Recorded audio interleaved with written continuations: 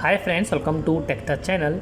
Today I am going to show you in this video how to fix video icon or option not showing in WhatsApp chat section and how to add video message icon on your WhatsApp chat.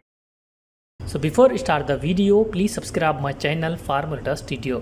First of all, open your WhatsApp, then select any one chat. In this, you can see here mic icon. Press on this.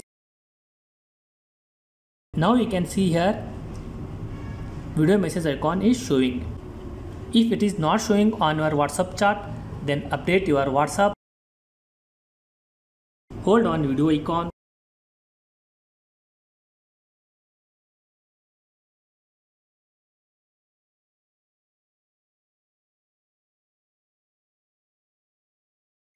That's it guys. So in this you add or fix video message icon not not showing problem in WhatsApp chat. Thanks for watching friends. Hope like this video. If you like this video, please like, share and don't forget to subscribe my channel.